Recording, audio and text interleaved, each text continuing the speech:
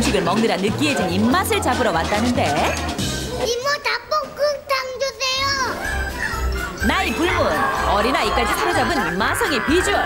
등장만으로도 입이 떡 벌어지는 건 물론 자동 함성 발사까지. 음, 입맛 돌아요. 냄비 가득 펼쳐진 그 자태가 보는 것만으로도 속이 얼얼해지는 게 명절 피로 확 날려버릴 힐링 푸드. 제대로 찾았네 그려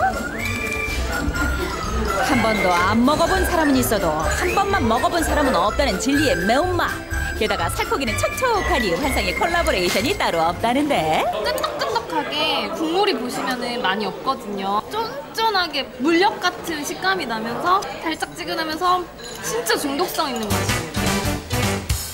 마니아층까지 생길 정도로 중독성이 핵폭탄급이라는 닭볶음탕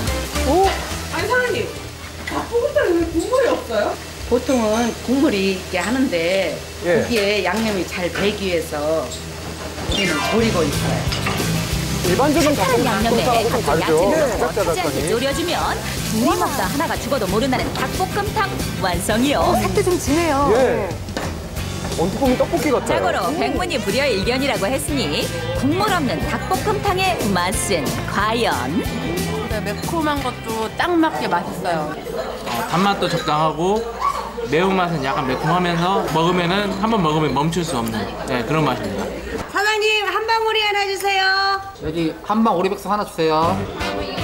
닭볶음탕에 아성의 출사표를 던진 또 다른 메뉴가 있었으니 감성은 기본이요 박수는 옵션이라 좋아해요.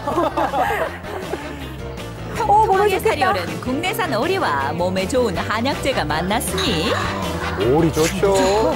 맛 좋고 몸에 좋고 단점이라고는 눈 씻고도 찾아볼 수 없는 한방 오리 백숙 되시겠다. 아이가 더 좋아하네. 힘내세요. 아우, 네, 아이고, 맛있겠다. 오, 부드러워 보여요. 네. 아이고, 딱 찢어지는 게. 부드럽고 담백하고 정말 입안에서 살살살살 녹아요. 그 정도로 맛있어요.